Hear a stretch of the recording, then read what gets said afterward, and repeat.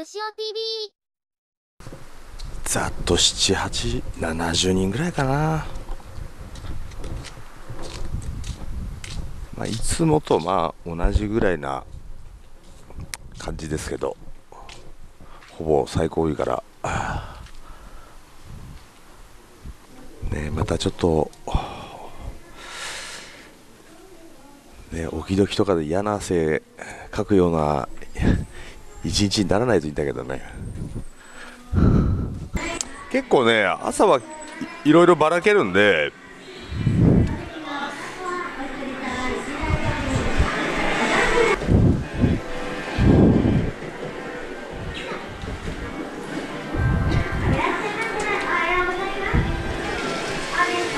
これ A だよね。よし。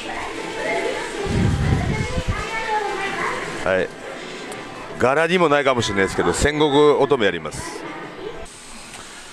はいどうも牛尾です。牛尾 TV オレンジ越谷底辺です。あいにくの空模様という感じです。あのー、ちょっと前に牛尾 TV で言ったかな？僕こんなことねパチスロ人生始まって下手したら初めてなんじゃないかというぐらいのことが今起こってまして去年の12月から12、1、2、3、4、5と6ヶ月間負けなしなんですよね。6ヶ月連続プラス出社はね僕もう記憶にないというかおそらく初めてなんじゃないかと。まあひとえにジャグラーの調子が非常にいいと。安定してると。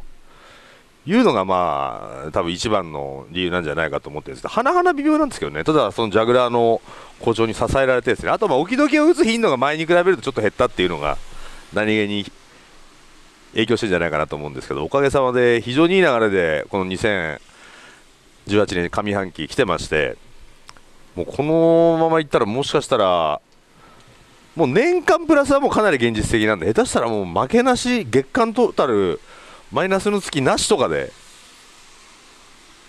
んなことね。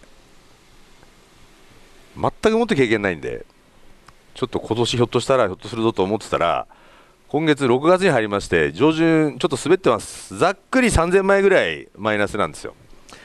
まあこれも一重に勝たなきゃいけないてかジャグラーを打ちに行く機会がですね月頭結構固まるんですよね。まあ、ジャグラーを別にあえてジャグラーに 固執する必要もないんですけど、まあ、この店ジャグラーみたいなお店僕結構いっぱいあるんで。で今一つ結果がついてこずマイナス3000枚。まあねまあ、実際マイナス3000枚弱ぐらいなんですけど。っていうちょっと久しぶりにですね若干苦戦してましていつもだとその月頭のジャグラー実践がある程度こう噛み合ってこう余裕を持ってですね1ヶ月こうパスローを打ててたんですけど若干ちょっと悪い方の流れがようやく来たのかなという感じなんで、なんとかね、あのー、これ以上踏み外すと、マイナスでそれこそ1万枚とかになっちゃうと、もうさすがにもう無理なんで、なんとかね、今ぐらいの2000枚、3000枚やったら、もうそんなのも一瞬じゃないですか。なんで、まあ、今日の目標としては、それをちょっと、そのマイナス分をある程度、こう補填するというのをね、ちょっと目標に掲げて、戦国乙女のタイプ A 取りました。まあ、あの一番後ろの方から入ったんで、まあ、空いてる何かしらノーマル系の台と思ってたんですけど、あの前回打った北斗の羅刹のところに6台はまってまして、そういうね、あのジャグラー以外のノーマルタイプ、だそれこそ、あのなんかね、俺、あんま他の野島は本当よく見ないんですけど、ある時は、え、そこにみたいなところに固まってたりとか、いろいろあるみたいなんで、ちょっとね、そういうジャグラー以外のノーマルタイプの花火とかが2あたりも固まったりしたことが過去あったみたいなんですよね。全然気づいてないんですけど僕。なんでちょっとその辺をちょっと意識した機種選びという感じで。まああのだいぶ編集の石井ディレクターがですねジャグラーの動画編集にへきへきしてると。いうこともあるみたいなんで。まあたまにはあのうん。ジャグラー硬い店だと思ってますけどちょっとジャグラー以外のノーマル系の台で朝からやってみようじゃないかと。いう感じでございます。まあ、ノーマル系ですんで、まあ、当たれば続行だし、当たんなきゃやめで、また次っていう感じになると思うんですけど、前回のオレンジ越谷伝みたいにですね、なんとかあの、置き時に行かないようにですね、もう何万円か、もう3万円とか4万円とか、まあ、4万円まで多分ノーマルタイプに入れることないと思いますけど、やっぱ2万円、3万円ってなっちゃうと、あ、もういいや、もう話早いとこ行こうっていう風にね、僕なんかちょっとなりがちなんで、なんとかまあそうならないようにですね、えー、前半戦きっちりですね、うん、うまい具合にまとめれるように頑張ってこようと思います。次戦行ってまいります。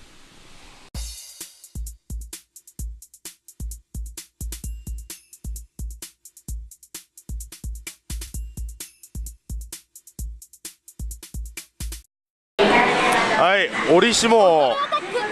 チャンスを止め一撃で仕留める。争いはここで終わらせる。あのー、一応ね今日で2回目。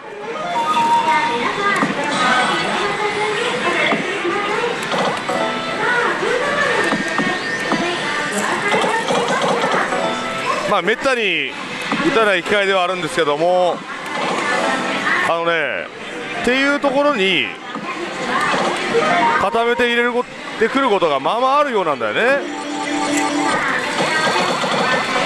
で折しもですね前回ンチンにやられた奥クのララセツがはまってたとこ。俺も何かのちょっと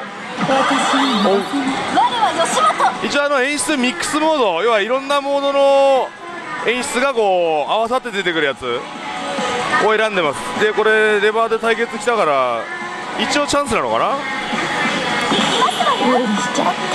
これ外れればリーチ目だねこれ。まあ揃うだでちょっと打った時の感触としてはあのー、このミックスモードがね個人的にはあのー、一番しっくりきたというか一番面白かった。このチャンスタイプとかチャンス告知タイプとかね一発告知タイプとかまあ後告知っていうかまあいろいろ演出のモードがあるんですけどあまあ飽きてきたらねまた変えるから。しばしまあミックスモードやってみようと思います、ね、戦国乙女が6台ハマってるからね。意外とほらバラエティーに1台とか2台みたいなお店も多いっていうかなかなかね島単位とかまあ一応半島だけど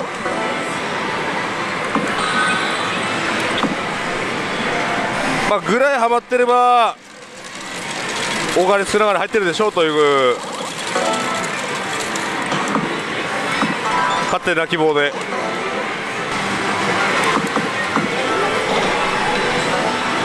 6の合算が126分の1という頭でいますんでね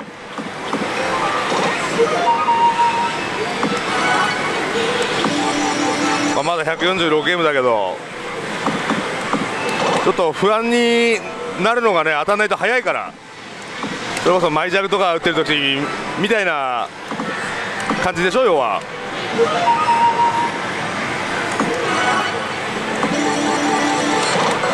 だからテンポよくもポンポンポンポン当たりを取らせてもらってでなおかつレギュラーがちょっと跳ねるよおっとっとっとっとこれは当たったってことでいいね。いいですよね。取りこぼしないもんね。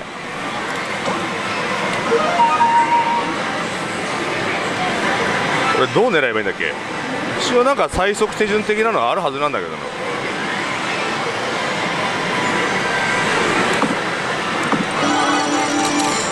ていうかそもそも当たってるよね。ああ大丈夫。ああこれそうミックスモードだとかちょっと当たるんだよね。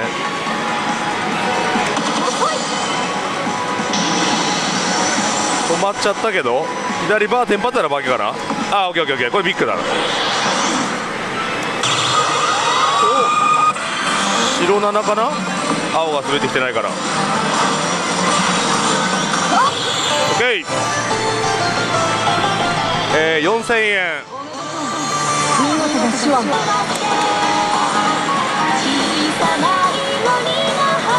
演出なしで羽衣揃わねえか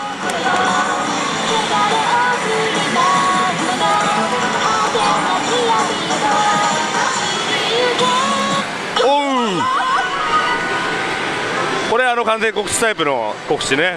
外れました。リーチ目だね。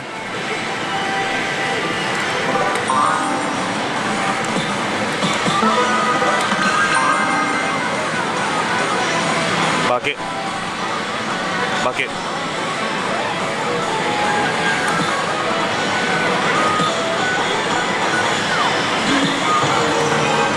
まあいいんじゃないですか。RT 中にしちゃったら持たねえのかな。153ゲームビッグ12ゲームレギュラー。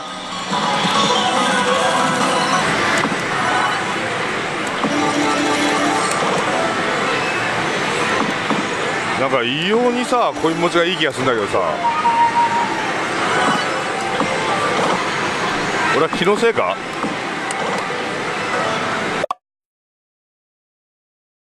なんか何をもって完全攻略とするのかよく分かんないですけど。一応完全攻略だと6の機械割れが114%とかになるらしいねこれ。すごいよね。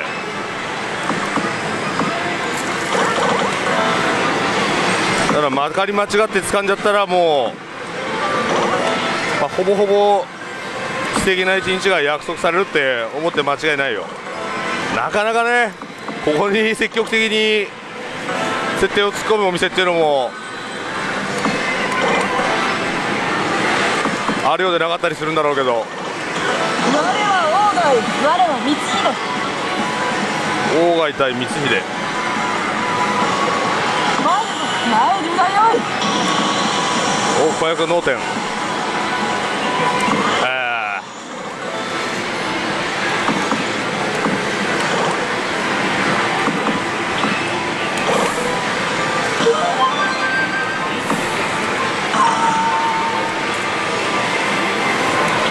ーおお出た。大のあれは熱いのかな？我は信玄。許しちゃった負けは負けででもまあまあいいんじゃねえのかな？ああ負けだ。3回目。あれ？仲がいいわけないじゃない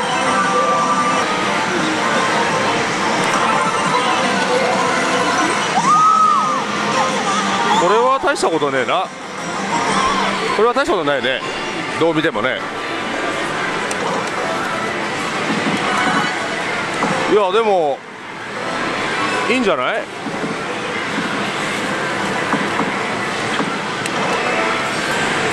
ね結構いろんなところにその設定したのポイントがあって、まあ、っていう意味ではそのなんだろう知識介入度が高いというか、まあ、覚えることいっぱいあるけど覚えといた方がいいことだらけなんで。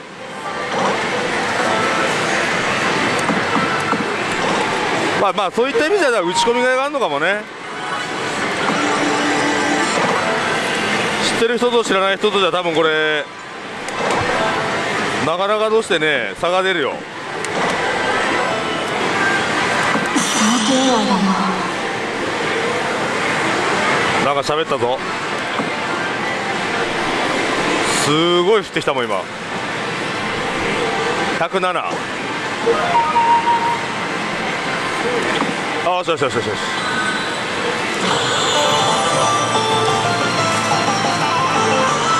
おめでとう見事な死は完璧しましたいいじゃない？ああそあそこは乗ってる。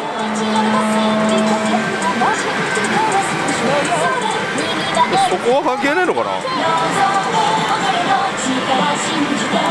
おっと！当たるね。当たるじゃない。いやこんなあ2ゲームってまあ R ってこれレギュラーだったら大損なんだけど。ああしゃしゃしゃ OK あれ？うわー。これはまあ当たってくれていいんだけどさ。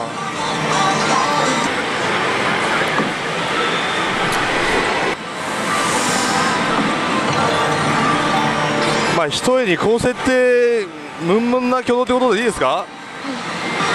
この戦乱を終わらせないてかこれさまあ今のところ偶数寄りな偶数寄りだな？偶数寄りだよね。吉輝さん。お3以上した。ちょっといいのが出た。まあいいよ。これだけレギュラー来てればもうね根拠としては十分でしょ。でも472ゲームで2の6だよ。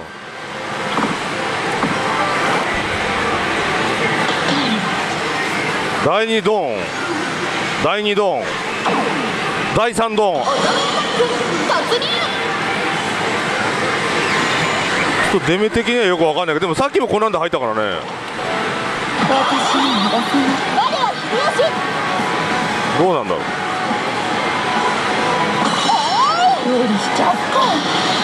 真ん中に青菜のとこあったらリーチ目っぽいよ。あこれ入った。入った入った入った入った。当たるな。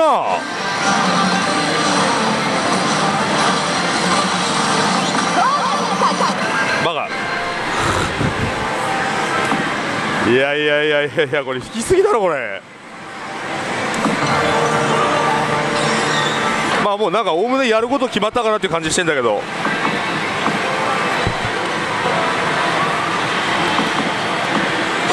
おう55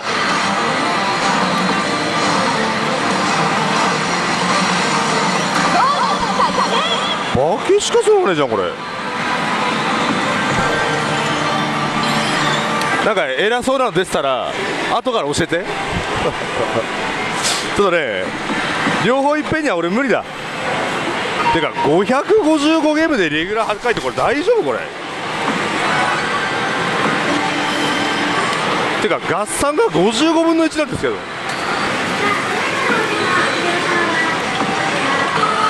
おこれは初めてだね。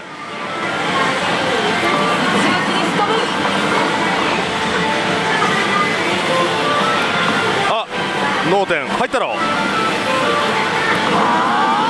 ああそうそう。下段7止まんねえんだ。よいしょ。191おい。よしよしよし危ない危ない。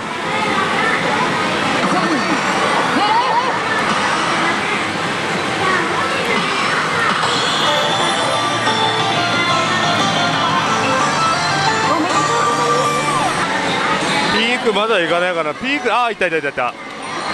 ほら。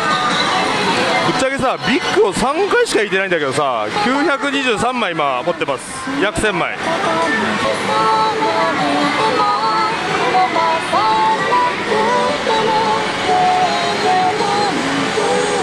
おおあ当たっちゃったよしかも。また当たっちゃった5ゲーム。しかもさっきの討伐なんとかからのあのアタックいくやつにかなり設定差があって1だと5パー。1で5%で6で 30%1 じゃねえなもう。ふざけんなよこれ。また25ゲームも RD 飛ばしちゃったじゃん。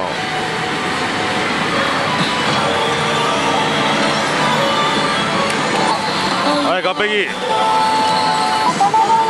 2人。ちょっと RT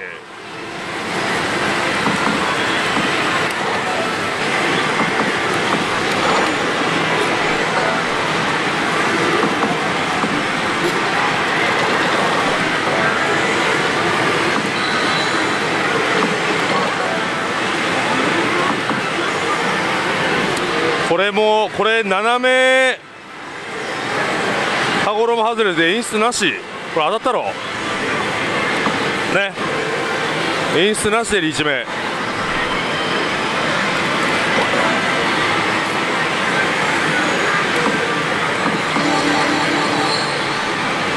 200はまんなかった。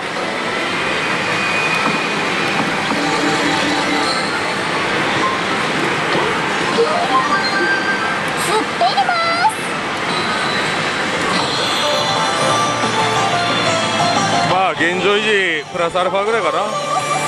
100枚ぐらい増えた。1016枚から1117枚。ちょうど100枚ぐらい増えた。鬼門の RT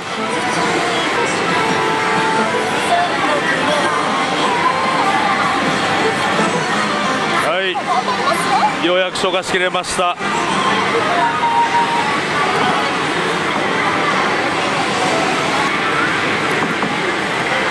ねここからビッグがレギュラーに追いつけ追い越せな感じになってきてくれると枚数的にはちょっと面白いことになるんだけど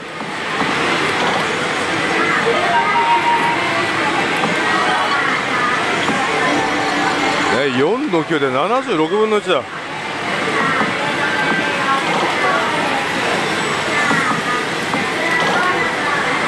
いや前回はね羅刹で痛い目見たけど今日は変化球狙いこれ成功だなこれ。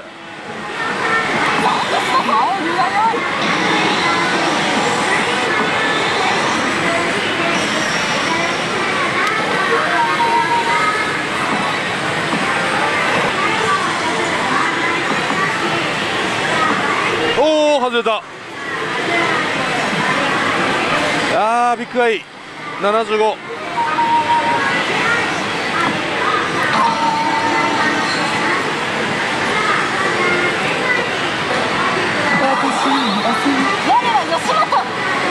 よしよしよしよし。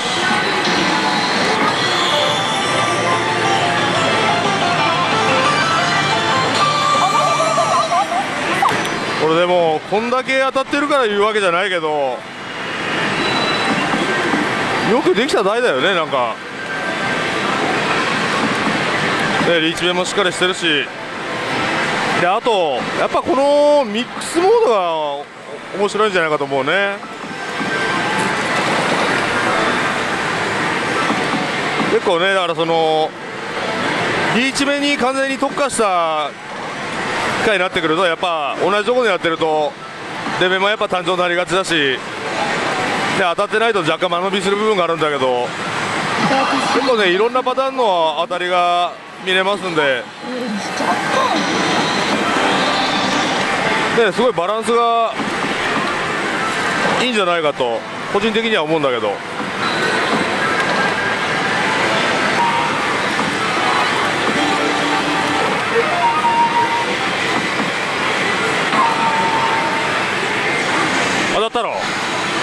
第3箱当たったろあれ？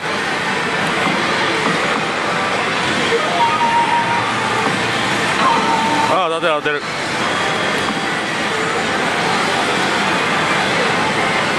で226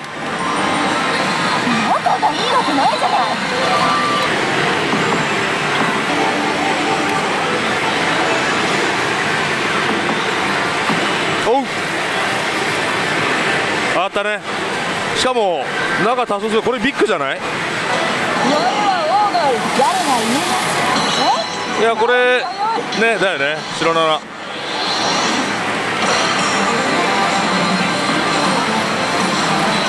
よいしょ。よし箱行こう。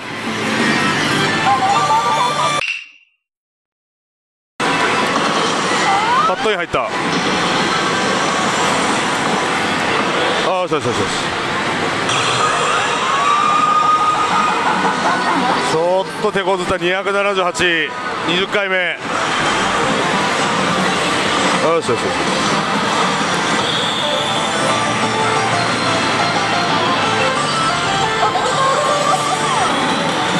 さあ、運命の瞬間が近づいてきております。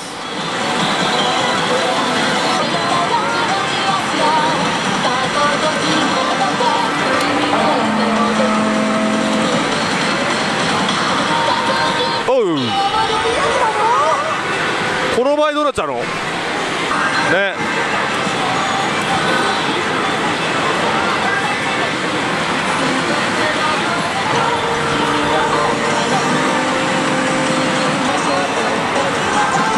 はい完璧。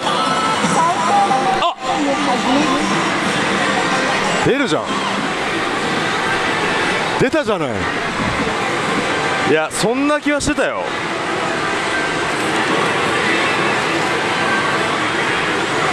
ねもう一生がめねえかもしれないからねこれ。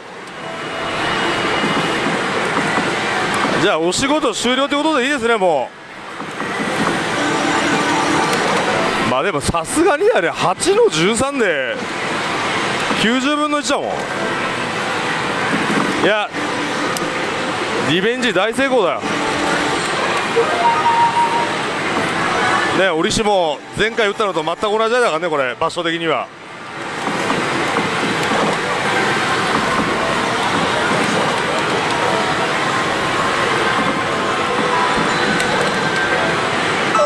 おうおうおうおうおうおうおうこれはプレミアでしょプレミアじゃない。さすが当てんだろ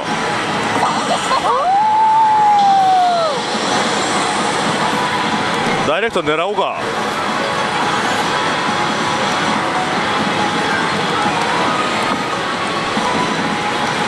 外れろ。よしよしよしよし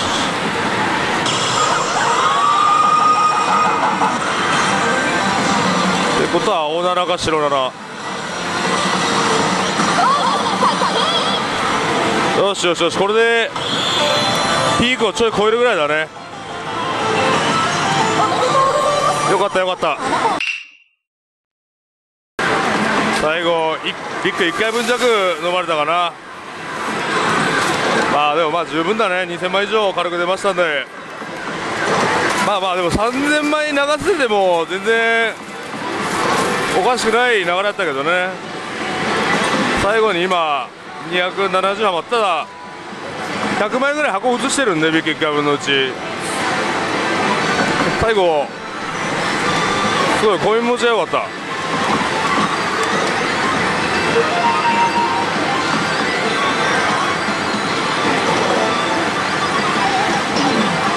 当たってる？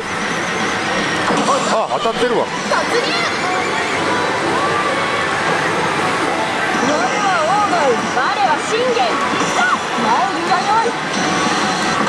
いいやピークやめできるわ。で2700枚ぐらいになるのかな？最後 RT で一発ビッグが引ければまあ3000枚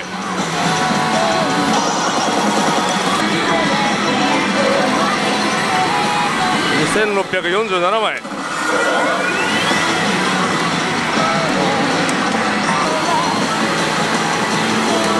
ほぼピークやめ。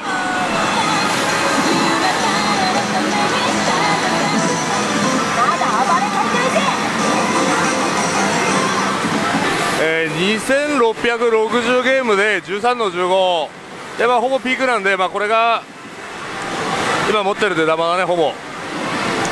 いや完璧でした。はい実戦終わりました。